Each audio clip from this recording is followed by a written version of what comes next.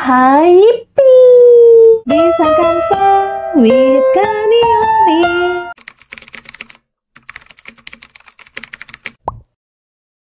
Hai semuanya, kembali lagi bersama Fioni dari Kanioni.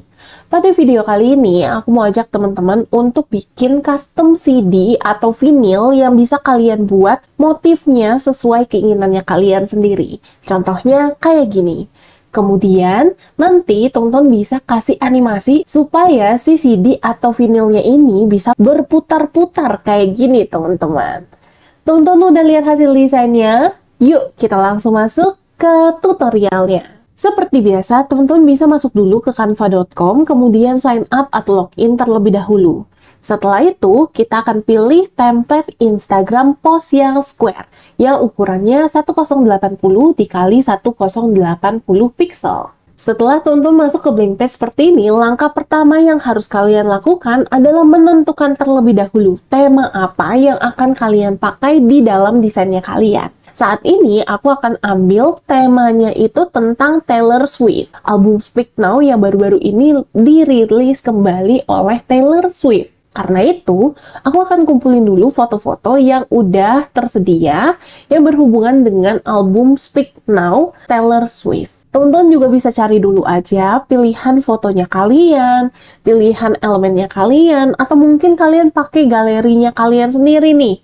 Mau foto-foto sama keluarga, foto-foto sama temen, itu juga boleh banget loh teman-teman. Oke deh teman-teman, di sini aku udah mengupload beberapa pilihan foto dan juga ornamen-ornamen yang akan aku pakai di dalam desainnya aku, yang berhubungan sama album Speak Now. Kalian udah upload belum foto-foto yang versinya kalian? Kalian juga boleh upload beberapa pilihan foto yang sudah transparan backgroundnya. Yuk upload dulu ya sebelum kalian lanjut mendesain. Setelah kalian upload foto-fotonya kalian, kalian bisa ganti dulu warna latar belakang desainnya kalian. Kalau kita ngomongin albumnya Taylor Swift yang Speak Now, berarti warna yang paling dominan adalah warna ungu.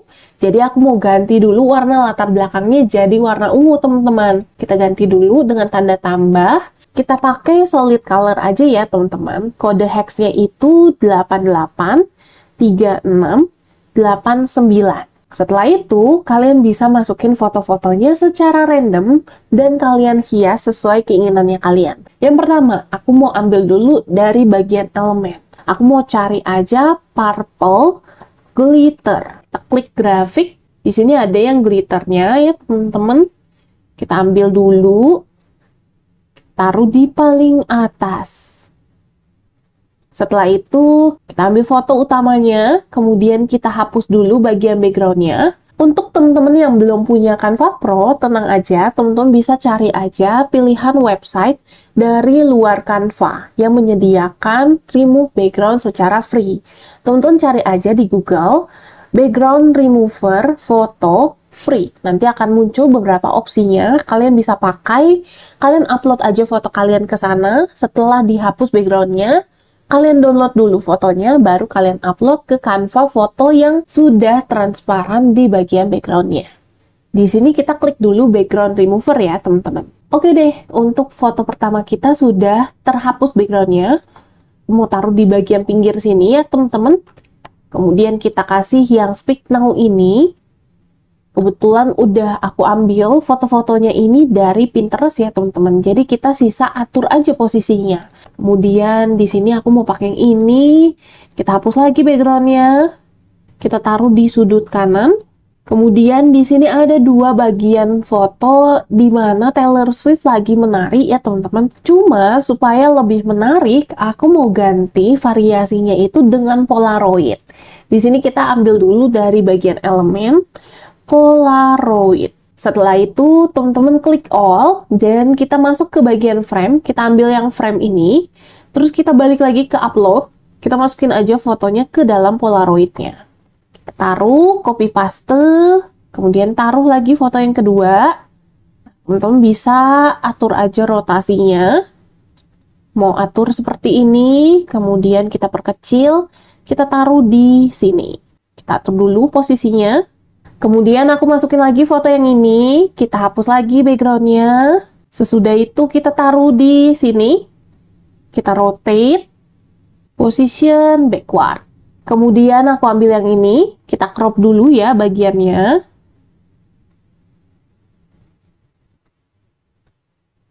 Sip. Setelah itu kita taruh di sini position backward. Kita perkecil dulu.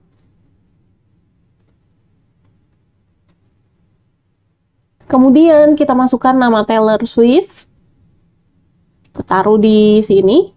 Position to back. Nah, setelah itu aku mau kasih elemen purple pepper. Nah, kalau ini kebetulan ada yang tersedia di Canva Free ya, teman-teman. Taruh di sebelah pinggir. Kita atur rotasinya. Position to back. Kemudian aku mau pakai warna putih juga kali ya. White. Kita taruh di sebelah sini. Position to back. Kemudian kalian juga bisa atur beberapa pilihan elemen lain dari Canva. Misalkan kayak bunga, butterfly, kayak glitter, watercolor, dan lain-lainnya. Tapi saran dari aku, usahakan masih setema sama desainnya teman-teman. Misalkan nih di sini aku bahasnya tentang Taylor Swift yang Speak Now, yang warna utamanya warna ungu. Berarti pilihan dari bunga-bunganya, kupu-kupunya dan lain-lainnya itu pakai warna ungu juga supaya setema teman-teman. Di sini kita cari aja purple flower. Ini ada nih yang ini. Kita taruh di sudut kiri.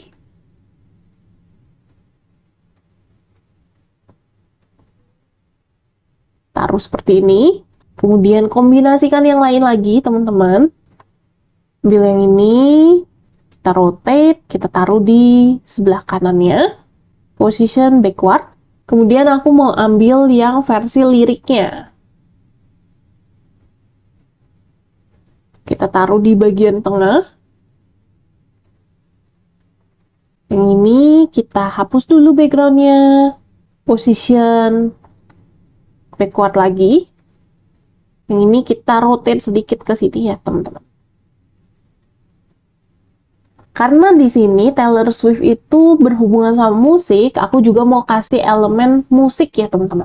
Musik, kita kasih aja di dekat Taylor Swift-nya. Warna putih. Kemudian kita kasih purple butterfly.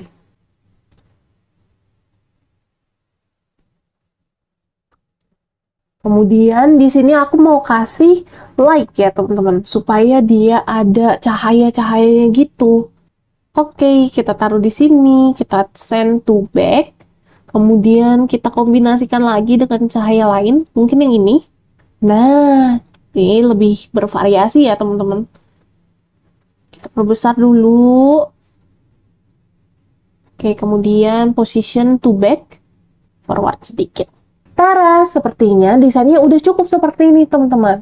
Kuncinya ketika teman-teman mendesain, usahakan penuh aja desainnya teman-teman. Tapi fokus utama desainnya teman-teman ada di pinggiran sini, jangan terlalu ujung ya teman-teman.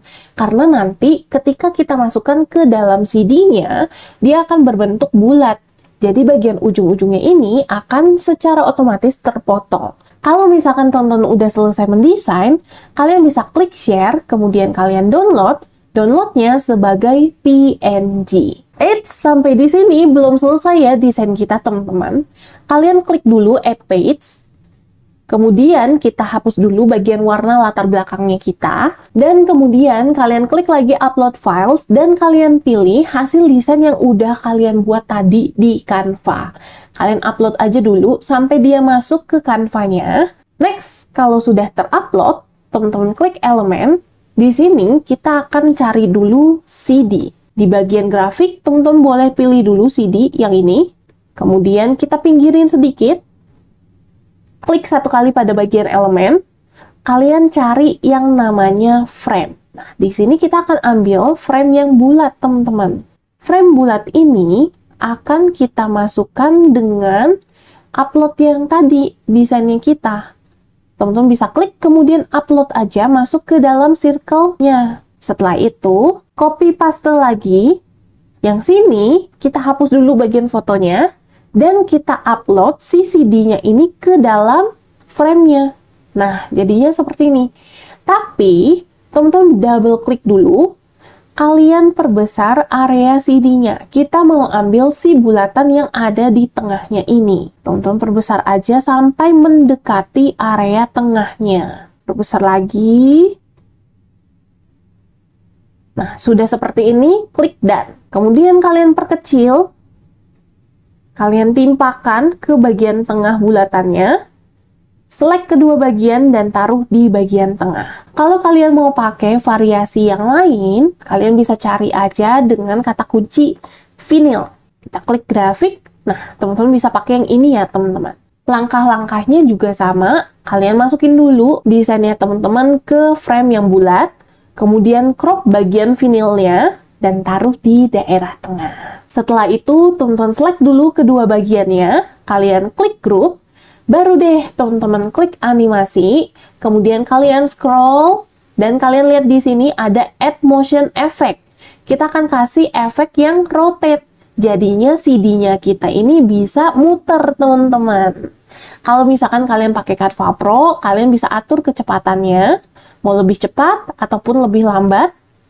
Kalian juga bisa reverse, mau puternya ke kiri atau mau puternya ke kanan, sesuai keinginannya kalian. Sampai di sini kalian udah selesai untuk bikin CD custom versinya kalian sendiri. Dan besok aku akan ajarin teman-teman untuk bikin Instagram story seperti ini dan kita akan masukin lagu Enchanted Taylor Swift ke dalam videonya. Jangan sampai ketinggalan ya teman-teman. Besok balik lagi ke sini dan kita akan belajar untuk bikin ini. Oke deh teman-teman, gimana? Simple banget kan untuk bikin CD atau vinyl versinya kalian sendiri. Bisa kalian kombinasikan bagian covernya sesuai keinginannya kalian.